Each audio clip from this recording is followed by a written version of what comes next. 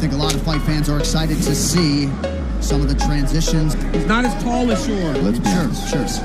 Oh. Oh. Up above the octagon on the desk, he knows. Thank you, Michael Chiesa, the former Ultimate Fighter Live winner.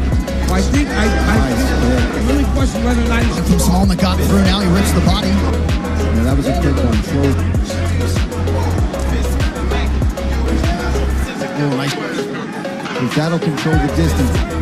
Oh, In what has been a competitive round one. PC and Art fight. It's me and my boy Ryan Clark. Looking for answers from the corner, asking Yeah, I the thought questions that was multiple interesting. times after round one. Pretty confident he won the, the first round.